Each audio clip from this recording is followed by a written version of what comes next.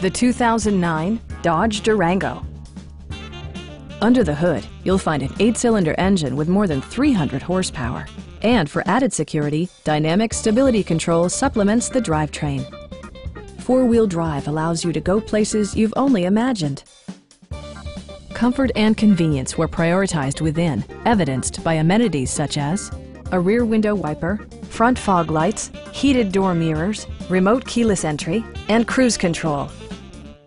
You and your passengers will enjoy the stereo system, which includes a CD player with MP3 capability and four well-positioned speakers. Dodge ensures the safety and security of its passengers with equipment such as dual front impact airbags with occupant sensing airbag, head curtain airbags, traction control, brake assist, a panic alarm, and four-wheel disc brakes with ABS. Please don't hesitate to give us a call